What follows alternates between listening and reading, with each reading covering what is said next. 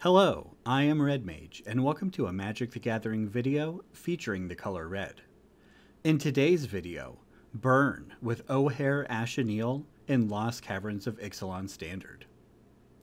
Burn decks, generally speaking, can be thought of as combo decks, specifically critical mass combo decks.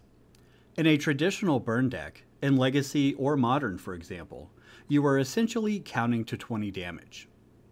Those are aggro combo decks, as opposed to combo control, like most combo decks are.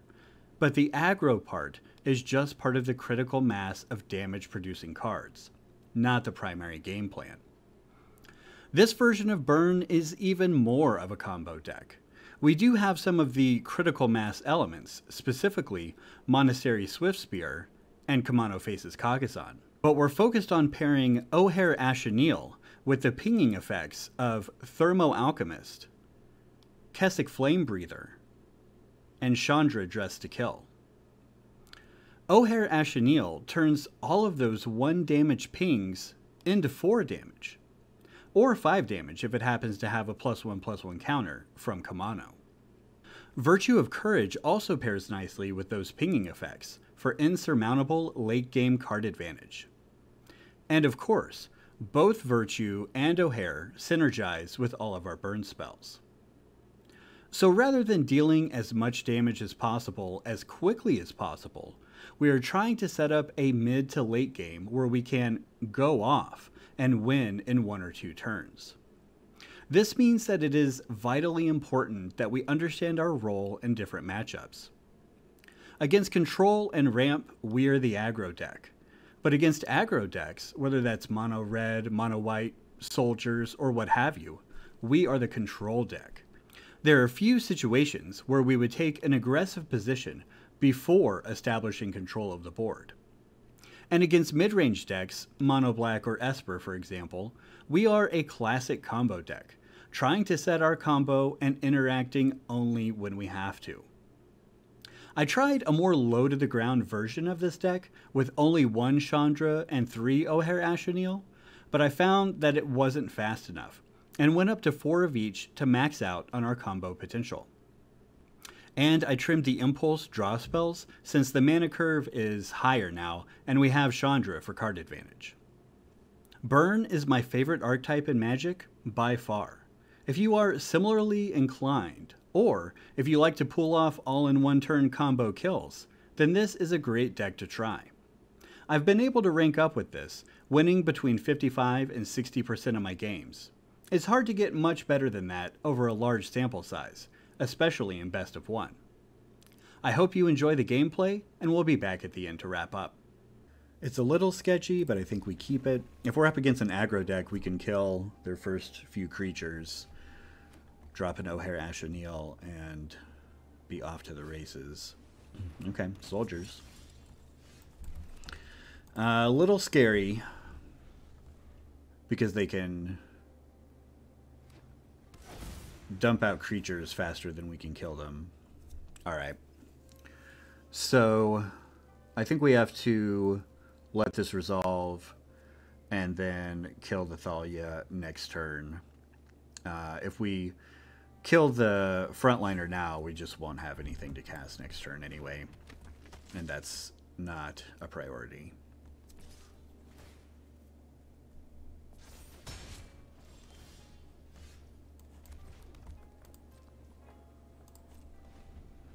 I'm going to wait. This could, you know, make us run into a counter spell, but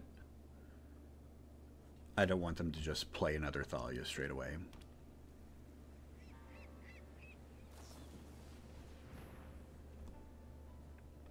Okay, so this is almost certainly an indication that they're about to convoke. If we kill the Thalia now, they shouldn't be able to.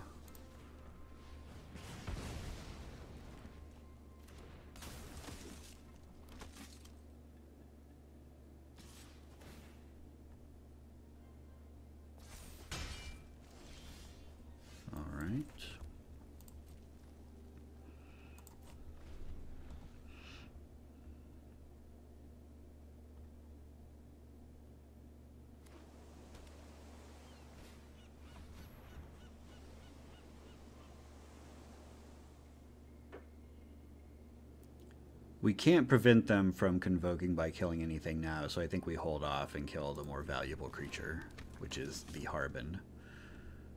Okay. Huh. Okay. So maybe they don't have the convoke thing anyway. Okay, well, let's kill this thing for sure.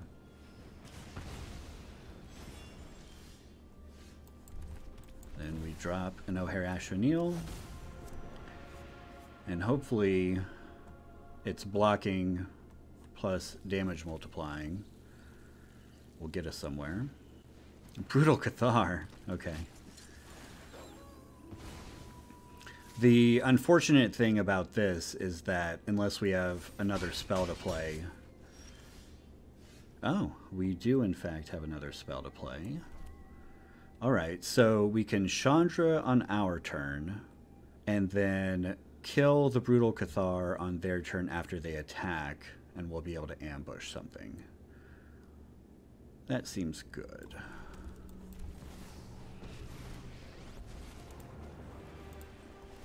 Listen, pal, I'm with the Gatewatch, so you might as well let's bring things up to a simmer. If we had killed the Cathar first, we could have dealt 4 damage with the Chandra's ping.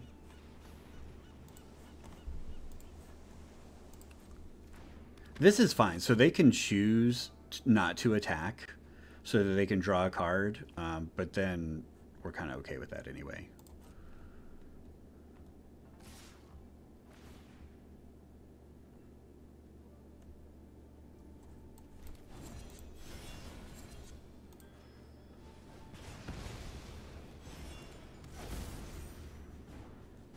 And uh, I think we just kill the token, save max damage.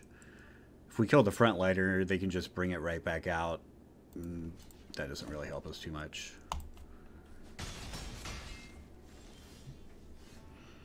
All right then. So, do we have... Oh, okay, we actually do have enough. If we Virtue, play a Mountain, plus Chandra. I don't necessarily want to just... I mean, I guess it doesn't matter. It probably is right to do it this way. Play the Virtue, then plus Chandra, and if we hit a Lightning Strike, we'll be able to save the one in our hand. Now, unfortunately, we waste all of this stuff, but um, I don't think we can afford to let the Sky Strike officer live. We've got so much going on.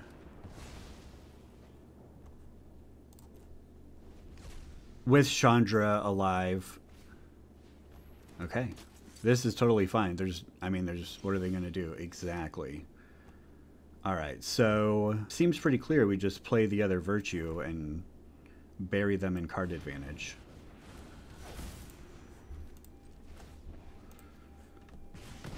So we decide on the first virtue before we decide on the second one. So we can take this action if we've got enough. Yeah, we don't need to do the next one. So we'll decline that.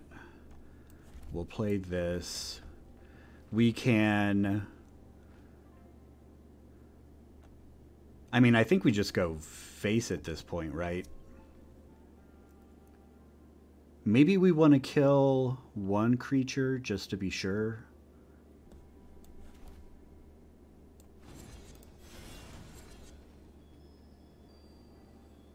I don't think it matters too much. I guess I'll kill the reinforcements just to make sure. And then hit them. There shouldn't be any way that they can deal lethal. That's great. Okay. And they give up.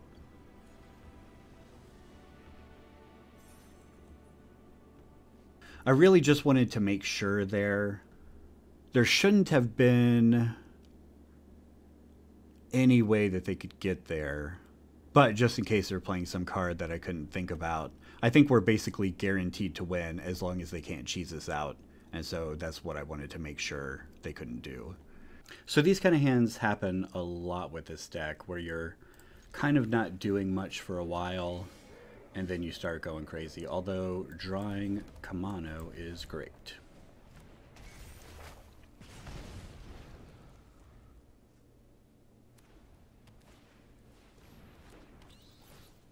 So no matter what they take, we can still kill it.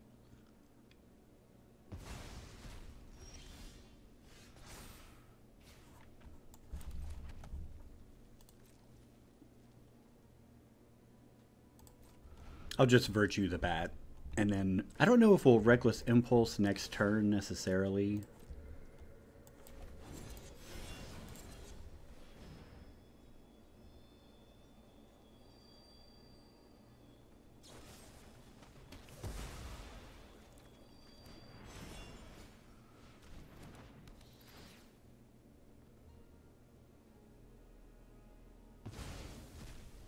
So it's interesting that they were willing to uh, use a card to prevent us from having our virtue. Obviously, the virtue is a big deal, but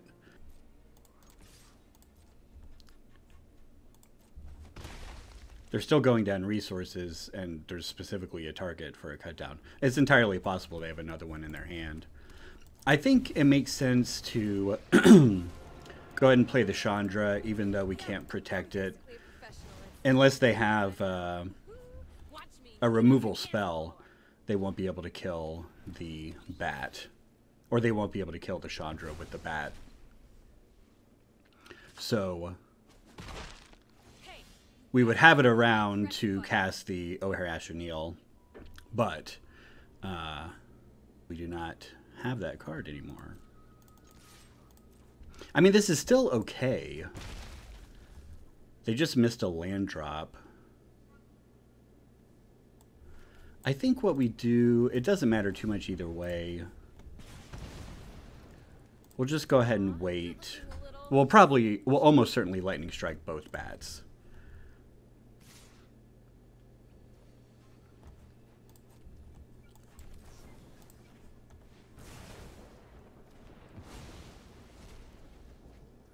Do we want to hold this lightning strike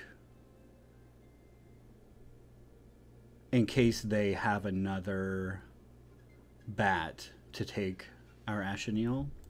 I mean, they've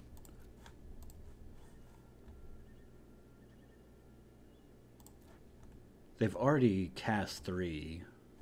Nah. If they've got it, they've got it, but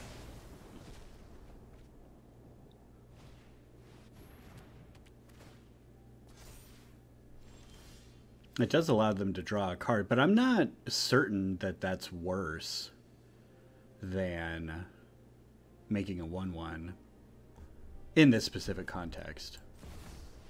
Either way, deal 4. Next turn, if. I mean, we have mega lethal, so. Oh, it's Esper. That's interesting. So there's a good chance they're going to respond to us plusing the Chandra by doing something to the Ojer Axonil. But there's not much we can do about it. We don't have anything at instant speed. Oh, okay. They're just dead.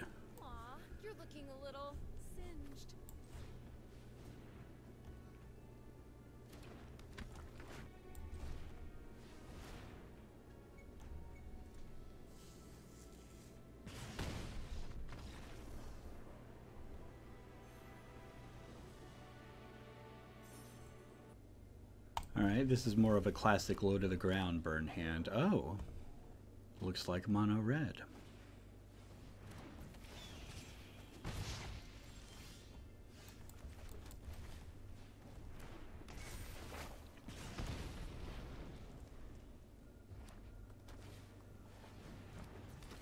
Okay. This is a good start for them, but it's not the end of the world by any means. Happy to draw a land there. That means next turn we can Flame Breather plus Kumano. Or Kumano plus Virtue or Lightning Strike potentially. Alright, so they have a Lightning Strike. We can make them two for one themselves by blocking the Scoundrel. Yeah, I think we wait. They could also have a Monstrous Rage. That's what they have, okay.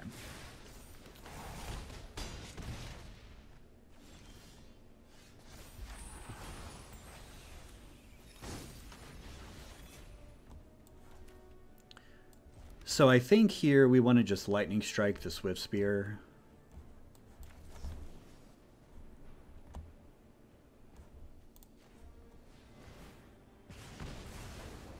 And then we'll get a counter on the Flame Breather with the Kumano.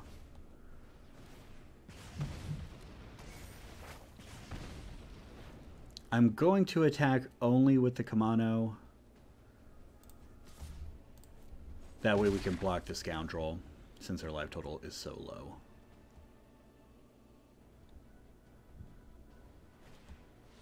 Godric, okay. It's smart of them to attack with the Scoundrel. It's totally worth it to sacrifice that to get the extra damage through. In fact, I don't think we can even block the Scoundrel. We go to three. They've got two cards in hand. Yeah. That's quite unfortunate. Oh, man.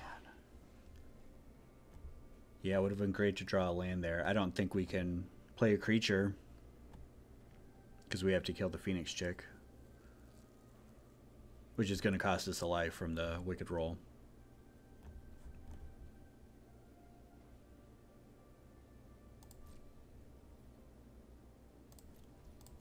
That's a shame. We're also fairly close to just being able to uh, finish them off, but What else you got? I mean, either they have another thing or they don't. okay. Huh. Is that going to work? It might. So we kill the chick, we go to four. We block the Godric and the Scoundrel. We go to two.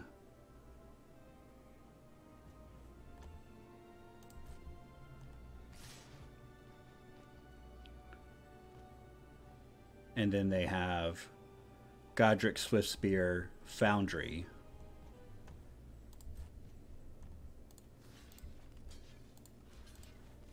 So if they don't draw a spell or a haste creature, we win.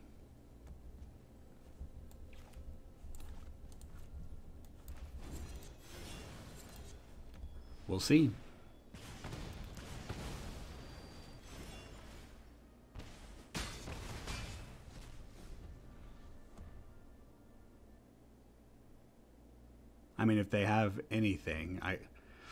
If it's not a land, it's hard to imagine it not winning them the game. I guess an Inti, if they're playing Inti, or a Godric, if they drew another Godric.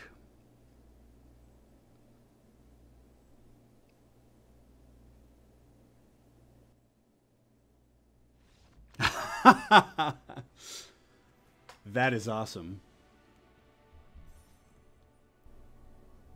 So I totally see why they're playing Alchemist Gambit.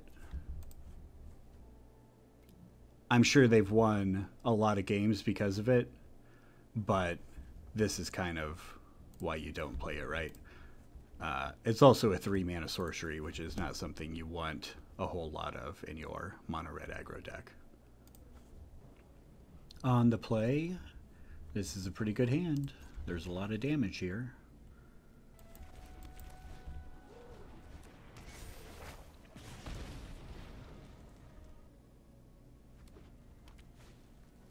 Mono red.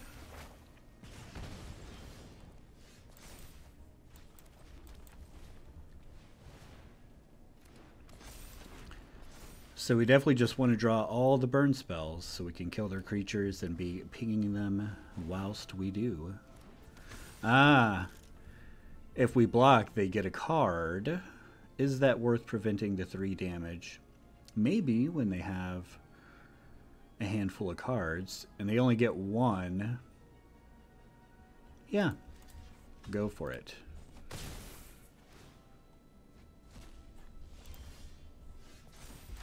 I mean, that takes their entire turn next turn if that's what they do. We could Chandra here. But next turn we can Chandra plus and Virtue, maybe the Kumano, or them. Okay.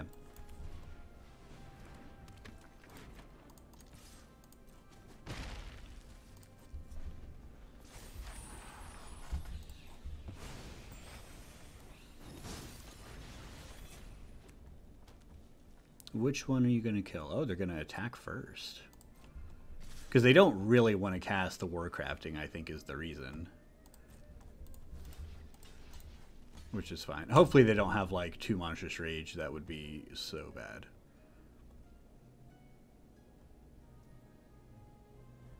Okay, pass to damage. Alright. I mean, that's good for them. They have a land next turn. But the Warcrafting will be wasted. I mean, it, it's a removal spell, so it'll do that job. Okay.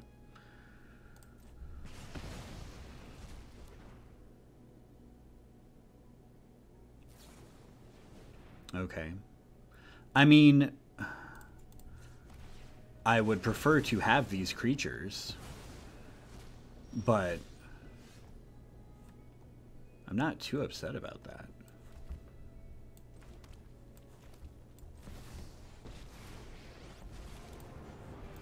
I'm not going to worry too much about protecting the Chandra, except by killing the Kamado. I'm not going to hold... It's not like I'm going to chump the Feldon and give them extra cards just to prevent them from getting the Chandra to one. If they can kill it with a burn spell or an extra creature, that's damage that's not going to us. Okay. So this is bad. Um, they get to kill the Chandra, establish a board, all of that. So we're not dead next turn, which means I think we slam the Virtue and see if we can cheese them out. I mean, I guess it's possible double Monstrous Rage would probably get there.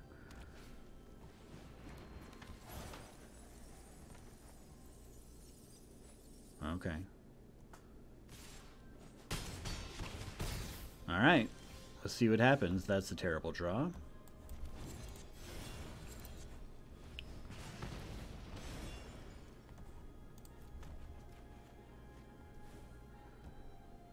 Let's see. One, two, three, four, five.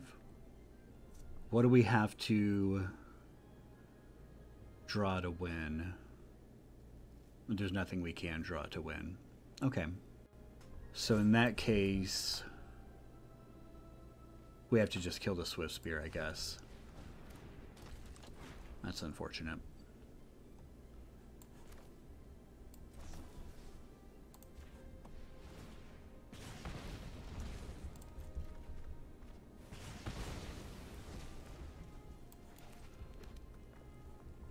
Do we attack? Hmm. I don't think so. In part because the Flame Breather is the only thing that we have to trigger the Virtue next turn by casting this Virtue. I think we just chump the Godric.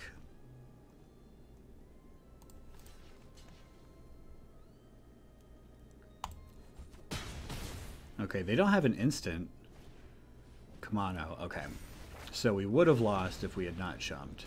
All right, here we go. All right. Um, we do not play this virtue for sure. Um, it would eat up all our mana. Let's see if we can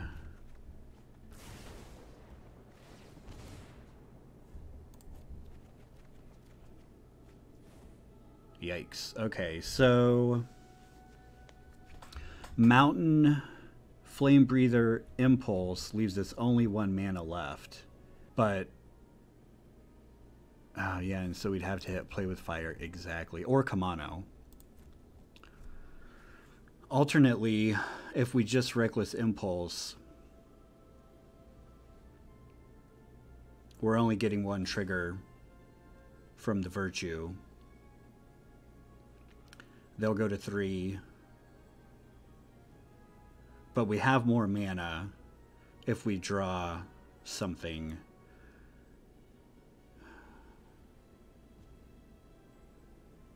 Wow, that's really close.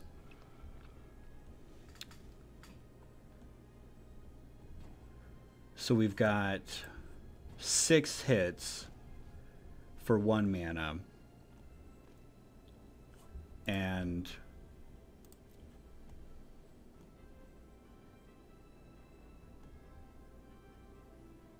Wow. Yeah, I think we just have to do it this way.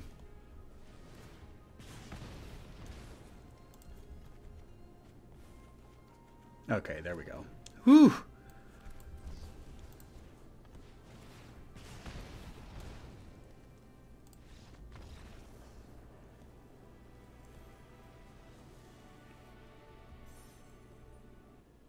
And we're back to wrap up. What I really enjoy about this deck, aside from sending damage directly to the opponent's face, is that it can win against any deck. Against aggro decks, we have a ton of removal. Against slower decks, we have time to set up our combo and save our burn spells for the opponent's face. So the opponent really needs to be interacting with our game plan and putting a lot of pressure on us at the same time. Obviously, the standard card pool right now is incredibly strong. Most decks are really good. You're not going to have an insurmountable advantage against any particular deck in general. But there will be plenty of games where at the beginning of the game, it looks like you might struggle, and then by the mid game, you've completely taken control, and it seems like your opponent has no shot, even if they're still at 20 life. That is the advantage of having such immense power in the deck. If you're looking to maximize your win rate, I might choose mono red aggro over this, but if you're looking to maximize your enjoyment and satisfaction while also having a positive win rate, then this is a great deck to try. I hope you enjoy burning your opponent's face off, and I'll see you in the next one.